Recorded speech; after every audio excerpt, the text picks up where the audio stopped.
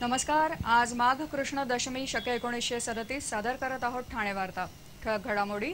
जिल्ह्याच्या विविध भागात अवकाळी पावसाची जोरदार हजेरी पावसानंतर तापमानात मोठी वाढ. रिक्षा परवान्यासाठी पात्र ठरलेल्या रिक्षा चालकांपैकी वीस टक्के रिक्षा चालकांना मराठी येत नसल्याने ते ठरले अपात्र. आणि आंतरशालेय क्रीडा स्पर्धेमध्ये सरस्वती सेकंडरी स्कूलला प्रथम क्रमांक. या आणि इतर घडामोडी विस्तृतपणे पण काही क्षणातच. ठाणे वार्ता पहा श्रीस्थानक वाहिनीवर. आता सकाळी सव्वा नऊ पासून रात्री सव्वा नऊ पर्यंत ठाणे वार्ता ठाण्यातील पहिलं दृकश्राव्य माध्यम. श्रीस्थानक वाहिनी ठाण्याची स्वतःची वाहिनी. ठाण्यातील घडामोडी कार्यक्रम वादविवाद अगदी गाणी नाटकं याचा आनंद घर बसल्या. पहा श्रीस्थानक वाहिनी. आपल्या ठाण्याचं हक्काचं व्यासपीठ श्रीस्थानक वाहिनी. ठाणे वार्ता आता संकेतस्थळावर देखील. ठाणे वार्ता डॉट कॉम वर क्लिक करा आणि ठाण्याच्या घडामोडी जाणून घ्या. ठाण्यातील पहिलं ऑनलाईन माध्यम ठाणे वार्ता डॉट कॉम नमस्कार मंडळी दर रविवारी पाहायला विसरू नका. नमस्कार मंडळी आपल्या प्रश्नांचं थेट उत्तर. ठाणे वार्ता पहा श्रीस्थानक वाहिनीवर. आता सकाळी सव्वा नऊ पासून रात्री सव्वा नऊ पर्यंत ठाणे वार्ता ठाण्यातील पहिलं दृकश्राव्य माध्यम. राज्यातल्या इतर भागांप्रमाणेच ठाणे जिल्ह्यातही आज अवकाळी पावसानं जोरदार हजेरी लावली. सकाळी ढगाळ वातावरण झालं तेव्हाच पावसाचा अंदाज होता. काल रात्रीपासूनच आकाशात विजांचा चमचमाट चालू होता. त्याचवेळी पाऊस पडण्याचा अंदाज व्यक्त केला जात होता. आज सकाळी नऊच्या दरम्यान पावसाचा अगदी हलकासा शिडकावा झाला आणि नंतर कडक ऊन पडलं. पण पुन्हा वातावरणात बदल होऊन दहाच्या सुमारास पावसानं जोरदार हजेरी लावली. या पावसामुळे रस्ते ओले झालेले होते. ओले झालेले रस्ते निसरडे झाल्यामुळं काही ठिकाणी अपघाताच्याही घटना घडल्या. ठाण्यामध्ये जवळपास तीन तासात तीन मिलीमीटर पावसाची नोंद झाली. या पावसानंतर हवेतल्या उष्म्यात चांगलीच वाढ झाली. सकाळी साधारणतः बावीस ते सव्वीस अंश सेल्सिअस असणारा पारा दुपारनंतर छत्तीस अंशांपर्यंत गेला होता. अवचित आलेल्या या पावसामुळे जिल्ह्यातल्या ग्रामीण भागातल्या शेतीवर परिणाम होणार असून शहरी भागात आजारांची भीती व्यक्त केली जात आहे. पश्चिम किनारपट्टीवर बाष्पामध्ये वाढ झाल्यानं हा पाऊस आल्याचं सांगण्यात आलं. ठाणे प्रादेशिक परिवहन कार्यालयातर्फे रिक्षा परवान्यासाठी घेतल्या जात असलेल्या उमेदवारांपैकी वीस टक्के रिक्षाचालकांना मराठी येत नसल्यानं ते परवान्यासाठी अपात्र ठरले आहेत.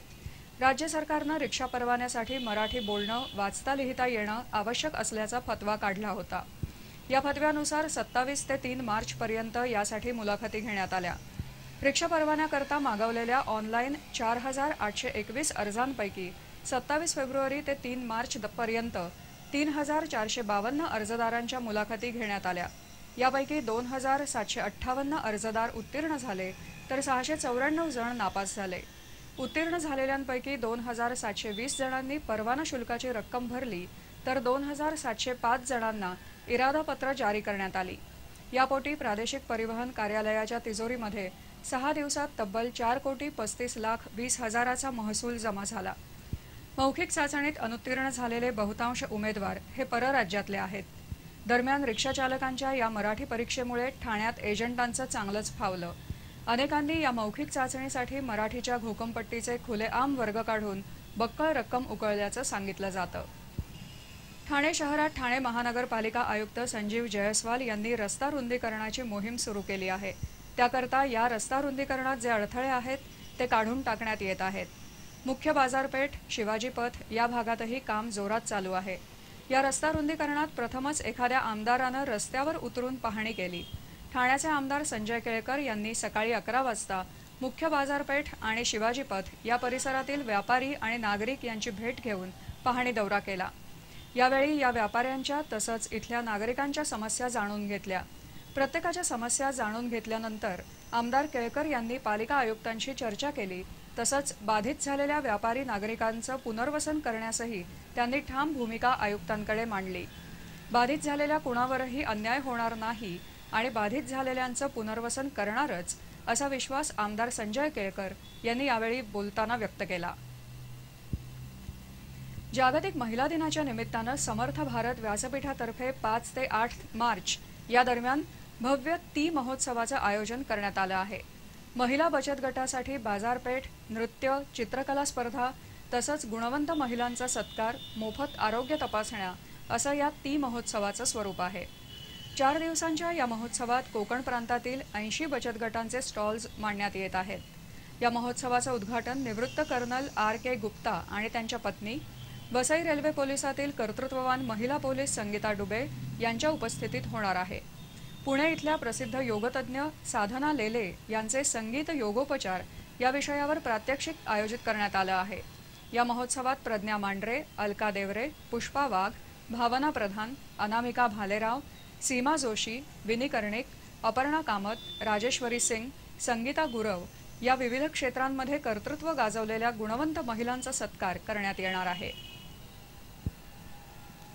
पुण्याच्या ज्ञानप्रबोधिनीतर्फे ठाण्यात एका करिअर मार्गदर्शन शाळेचं आयोजन करण्यात आलं आहे. स्पर्धेच्या युगात नेमकं कोणतं करिअर करावं आणि पालक तसंच विद्यार्थ्यांनी त्यांचा ताणतणाव कसा कमी करावा याविषयी ज्ञानप्रबोधिनी संस्थेतर्फे या कार्यशाळेत मार्गदर्शन केलं जाणार आहे.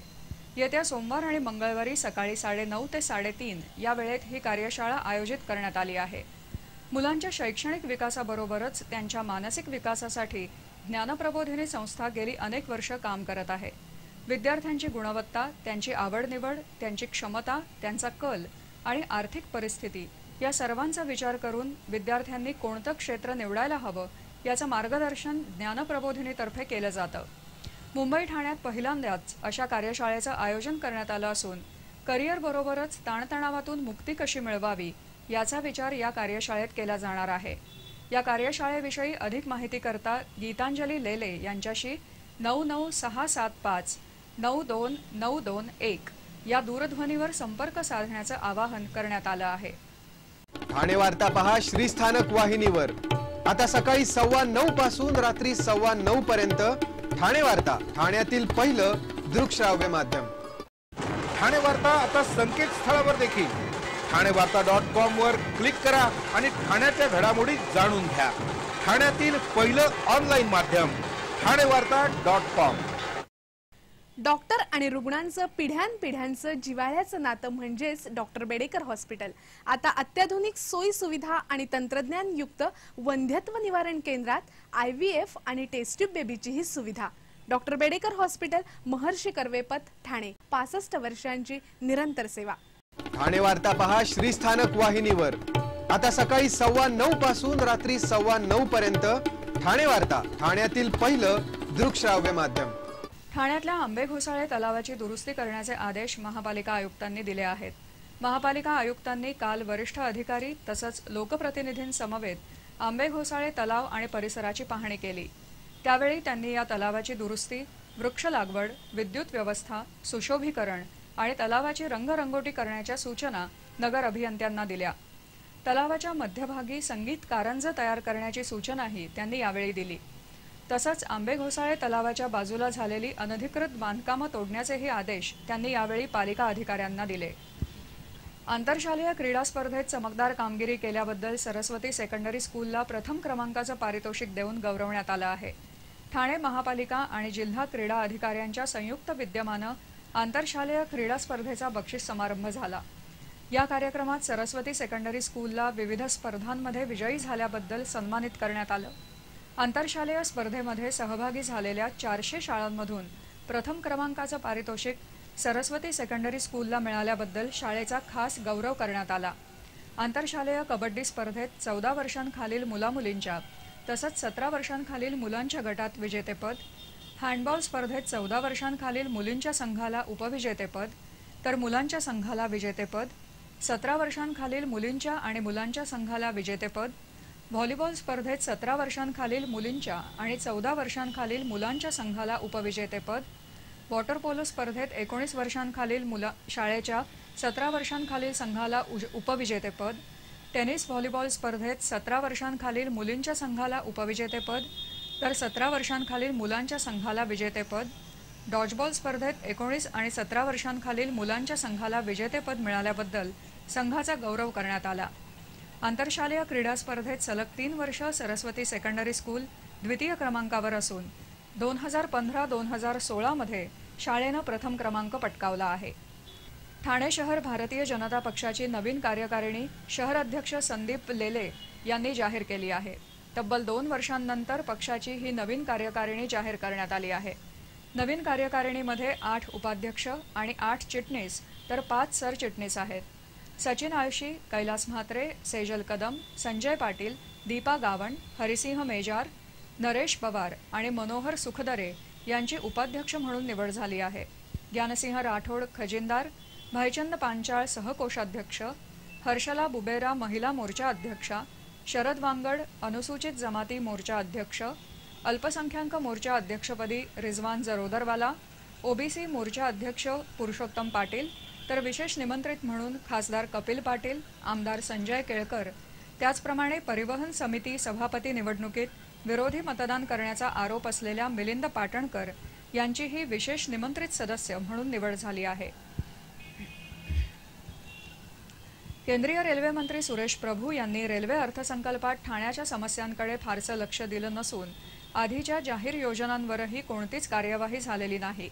त्यामुळं पुन्हा एकदा या समस्यांकडे लक्ष वेधून याचा अंतर्भाव अर्थसंकल्पात करण्याची मागणी ठाण्याचे खासदार राजन विचारे यांनी केली आहे. गेल्या अर्थसंकल्पात ऐरोली कळवा उन्नत मार्गासाठी चारशे अठ्ठावीस कोटींची तरतूद करण्यात आली होती. त्याचप्रमाणे एमयूटीपी तीन योजनेची घोषणाही गेल्या अर्थसंकल्पात करण्यात आली होती. पण त्यानंतर पुढे काहीच हालचाल झाली नाही. ठाणे आणि मुलुंडच्या दरम्यान विस्तारित रेल्वे स्थानकाची मागणी खूप जुनी असून याकडे लक्ष देण्याची मागणी खासदार विचारे यांनी केली आहे.